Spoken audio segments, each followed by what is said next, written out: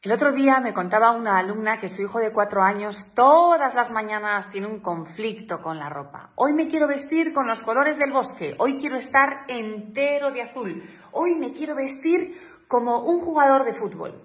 Y claro, esa ropa no siempre existe y cuando la mamá le dice no tenemos ropa entera como los colores del bosque, hay una crisis.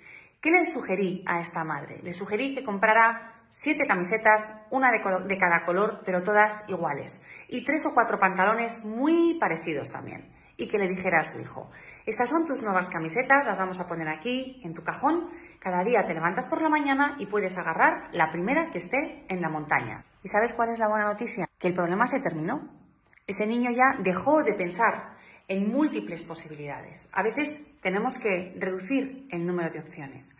Por eso yo, con respecto a la ropa, os animo a que tengáis poca ropa en el armario y que toda la que haya se la puedan poner. Es decir, si es verano, que la ropa de invierno esté fuera de su armario.